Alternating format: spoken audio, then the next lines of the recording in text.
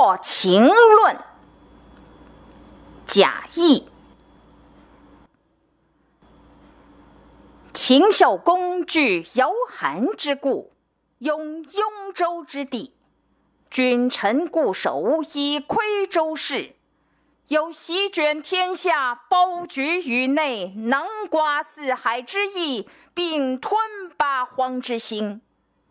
当世时也，商君佐之，内立法度，务耕之，修守战之备。外连横而斗诸侯，于是秦人拱手而取西河之外。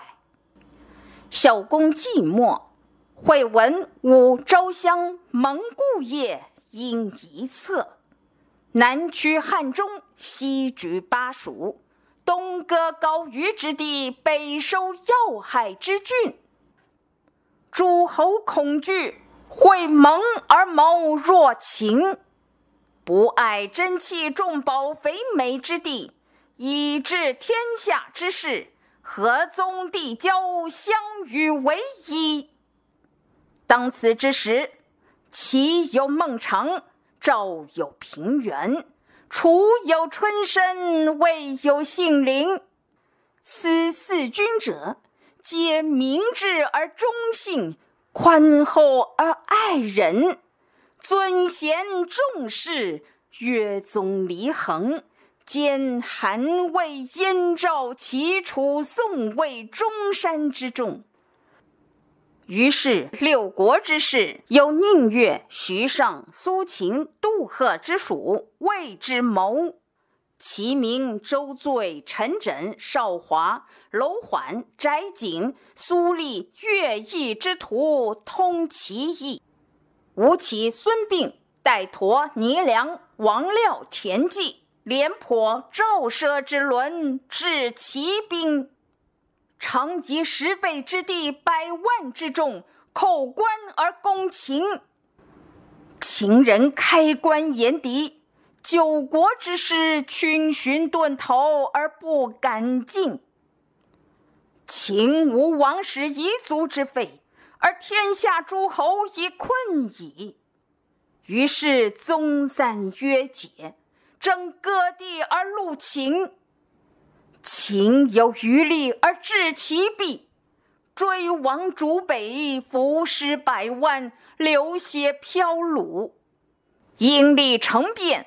宰割天下，分裂河山，强国请服，弱国入朝。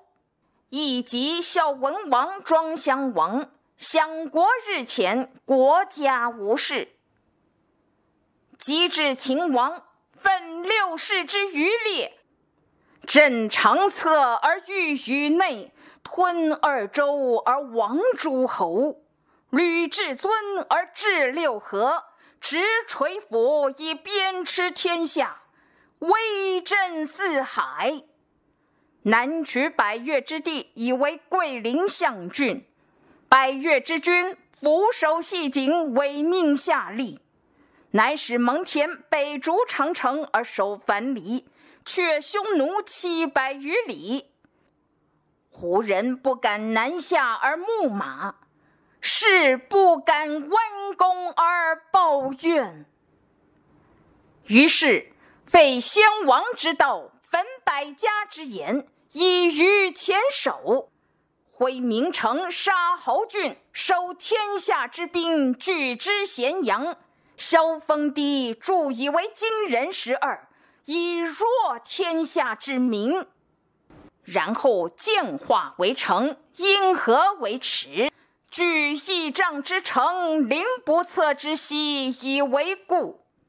良将劲弩守要害之处，信臣精卒，臣立兵，而谁何？